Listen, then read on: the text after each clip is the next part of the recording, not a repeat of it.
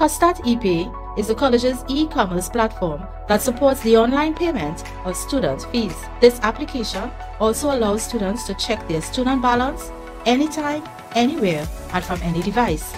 It is simple to use, convenient, secure, and efficient, making it easy to stay on top of your payments. Here's how to use it. Step 1.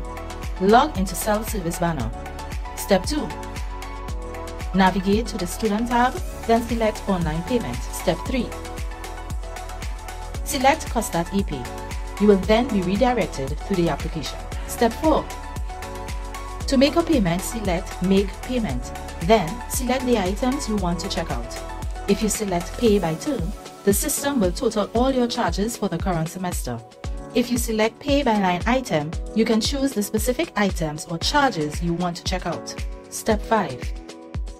Review your total, enter your payment details, and select Submit Payment. A confirmation will appear on screen and a receipt will be emailed to your student's email account. Your account is updated immediately.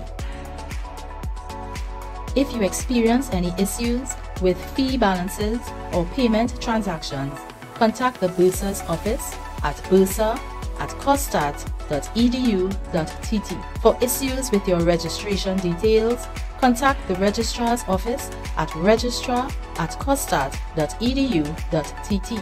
For issues accessing COSTAATT ePay, contact the IT Help Desk at ithelpdesk at costaatt.edu.tt. COSTAATT ePay, simple, reliable, and always accessible.